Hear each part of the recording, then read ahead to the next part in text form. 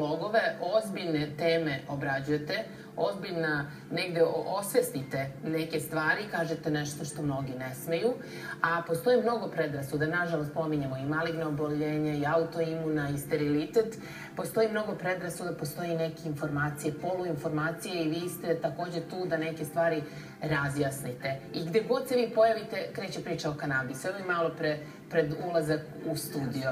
E, da li su ljudi dovoljno informisani posle ovoliko vremena i, i priče i vaših gostovanja? Naravno da nisu dovoljno informisani i ono jedino što je dokazano to je da je kanabis droga. E, naravno da se vi dobro osjećate kad ste drogirani. E, postoje lekovi koji imaju isti efekt. Daj da neko nešto da kaže. Ljudi, ja nemoj čuo što se ljudi drogiraju.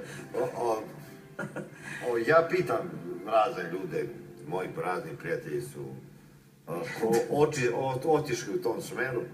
Ja kažem, pa što to radi? Kaže, kad bi probao, znao bi. Vi nemojte, gospodinu. Ne postoji, nemojte. Ja se izvijam, zaista ne postoji ni jedan. Ne, ja imam drogu, to su ove knjige. To, to, Svaki ima svoju drogu. To je dobra droga. I kamo lepe sreće da je većina ima takvu drogu. A kažu da je opasnija droga ove knjige, nego ova prava droga. Nije. Ovo oštri um, a ovo tupljuje um. E, objasnite nam. Kako je došlo do toga da se Marić Juana tumači kao lek za sve bolesti, kanabisovo ulje. Evo ja sam juče sticajem okolnosti bio u bolnici centralnog zatvora. I razgovarao sam sa ljudima koji se leče od. Narkodilerima koji... Koji su i bolesnici. Koji su i bolesnici. I oni ja pitan koliko ti osuđen tri godine, ovaj, dve, ovaj, trgovac, ovaj, uživalac, za sobstvene potrebe, ne znam, nekako su se sakrili, imaju po 20 grama, 10 grama, ali to su strašne sudbine koji su oni meni ispričali. A ovde mi govorimo da je to lek. Ne postoji nikakav dokaz da je to lek. Čak i ovaj CBD... I profesorka Basara uh, iz Nemačke je to govorila kad su je pitali, i svi inače govore, ali oko toga je stvorena uh, velika priča, pokret, zahtev za legalizaciju. Pa, između ostalog, ja se izvijem, ali mediji su za to krivi. Umesto da prvo se pozove stručna javnost, lekari koji se bave lečenjem različitih vrsti bolesti, da vam kažu tačno kakav je efekat na kakvu bolest e, određenih e, i lekova koji su proizvedeni na bazi kanabisa i samog ulja od kanabisa. Prvo se krenulo sa tom famom da je to lek za sve i naravno da ne postoje nikakve dokaze za to. E, kad vi pogledate, ja sam gledala i ove emisije koje su snimane baš i sa tim pacijentima, e, svaki profesionalac može da vidi da e, je to jedan miran misalni tok, jedan usporen misalni tok i vidi se da su ti ljudi pod dejstvom neke psihoaktivne substance. O čemu se radi? Vi imate pacijente sa multiplom sklerozom koji imaju... Je izvećava droga neko? Ma nikoga.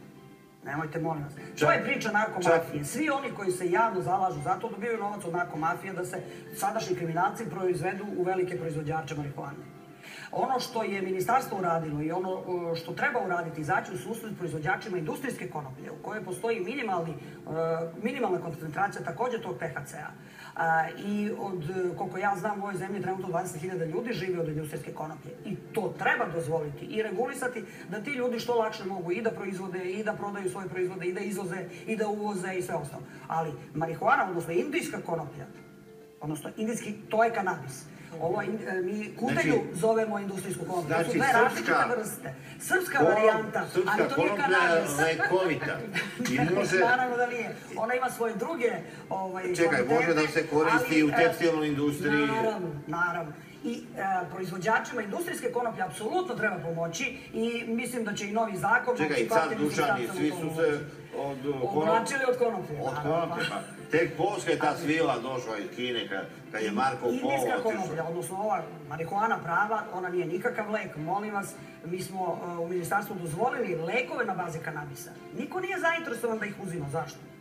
Kad je isti efekat kao i efekat uzimanja ulja za određene vrste bolesti. Znači, drugo, i ulje od kanabisa ne delo kod svih isto. Imate ljude koji su umrli u epileptičnom statusu zbog uh, ulja od kanabisa. Imate ljude koji su dobili krvarenja od ulja kanabisa. Prema tome, oprostite. Uh, ono što je, uh, je loše uradila vaše kolege, to je što prvo nisu konsultovali stručnu javnost. Ja znam da nas nazivaju uh, farmakomafijom, idi mi dođi mi, oni samo, njih plate farmaceuti pa oni daju lekove, nije tačno. Da biste nešto proglasili lekom, to mora da prođe žestoku kontrolu A, svi ovi drugi a, Ali ti- suplementi, tako Ali zvani, ti otkrili to- narkodileri koji žele da prosvete srpski narod i da... a, i da od nas naprave morone, posebno od naše dece, jer Da, to o- upravo a desilo... oni kažu da vi radite za farmakomafiju i da vas plaćaju multinacionalne kompanije i da su oni na, tek na začetku te... Ja bih voljela da je to tačno, jer onda ne bi znala šta bih od para. Ovako, da živim od svoje plate.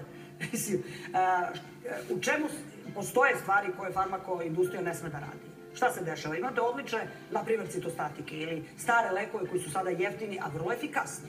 E, oni se dogovore, e, neće sad to da proizvode, ili to proizvodi samo jedan proizvođač u svetu. Eto, konkretno, Znači, BC jeftine nula. lekove neće niko da Tako je. E, sad, I kažu da su ti jeftini lekovi zastareli. Oni su kao I da treba nemaju efekta. koristiti skupe Tu se njihova nepoštenost zaista ogleda, konkretno. Citostatik BCNU, koji se koristio i ranije ima određenu efikasnost kod tumora na mozgu, sad proizvodi samo jedna firma u Indiji.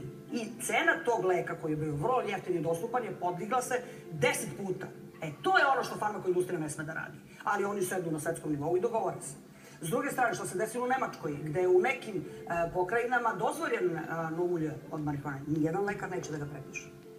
Znači, e, ESNAR se dogovorio, to nije lek, mi nećemo da dovodimo u zabludu naše e, pacijente i pored toga što su političari popustili pod narkomafiju.